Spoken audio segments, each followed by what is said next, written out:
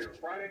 And the best chance for rain in the uh, Kern River Valley Friday. And then we have a nice weekend shaping up for uh, Memorial Day. Okay, it looks good. Thanks, Miles. Well, you might remember the iconic wooden Colossus, but it has now been transformed into the new Twisted Colossus. Eyewitness News reporter Lexi Hotelling is live at Six Flags Magic Mountain at the reveal of the new ride. Lexi?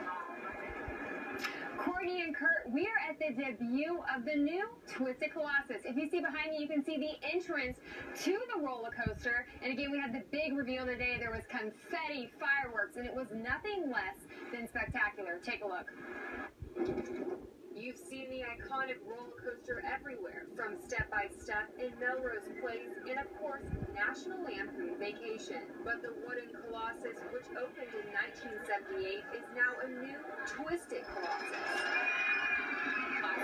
It's an incredible ride. So it's, it's a next generation roller coaster. You know, the old wooden coaster um, was a classic and was great, but this is just so much more exciting and has so many more great elements. The roller coaster officially opens on Saturday, and park officials are expecting a big turnout.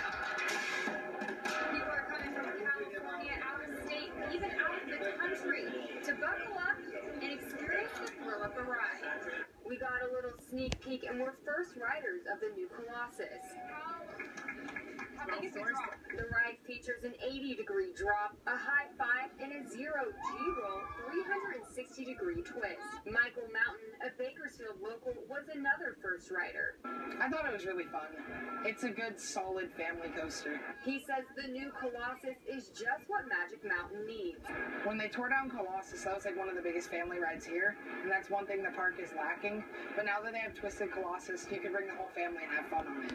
Spiller agrees and says people of all ages will enjoy it.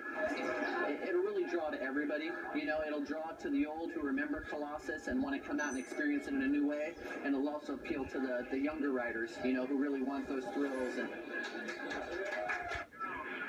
Again, the roller coaster isn't officially open into the public until this Saturday, but it's only a little over an hour drive away from Bakersfield, so you're going to have to come out and check live, telling back to you in studio. Hmm, I don't know. I, don't, I think I'll leave it to the younger writers. All right, thanks, Lexi.